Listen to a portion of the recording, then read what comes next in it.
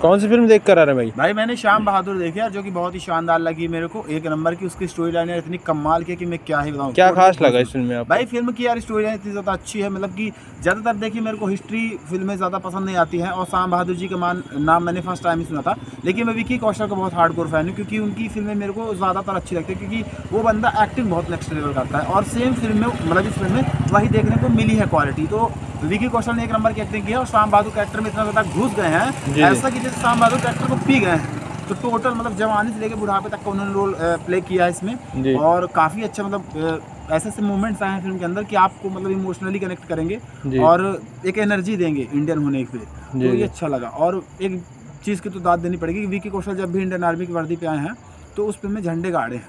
तो जैसे क्या लग रहा है तो मतलब वो वाला जादू अभी भी चलेगा? हाँ यू आर सर्जिकल स्ट्राइक वाला जो उरी आई थी तो उसका जादू चलेगा लेकिन यह है कि उसके कंपैरिजन में कम चलेगा क्योंकि वो थोड़ा गर्म माहौल था मोदी जी की भी हाइप उन दिनों बहुत ज़्यादा थी। जी। तो कहीं ना कहीं और इसमें थोड़ा सा ये हिस्टोरिकल मतलब ऐतिहासिक है उन्नीस सौ इकहत्तर की वॉर की। लेकिन यह है कि कहानी बहुत ज़्यादा अच्छी है और विकी कौशल की एक्टिंग बहुत ज़्यादा अच्छी है। तो मेरे हिसाब से इनको सपोर्ट मिलना चाहिए देखना चाहिए। बाकी एनिमल लगी हुई है तो एनिमल तो मैंने नहीं देखा लेकिन शायद देखते हैं कि। इस पे भी वाड़ा अमाउंट चले भी चल जाए इस फ़िल्म को पाँच से कितने स्टार मैं इसको पाँच से पूरे पाँच स्टार दूँगा। ओके भाई थैंक यू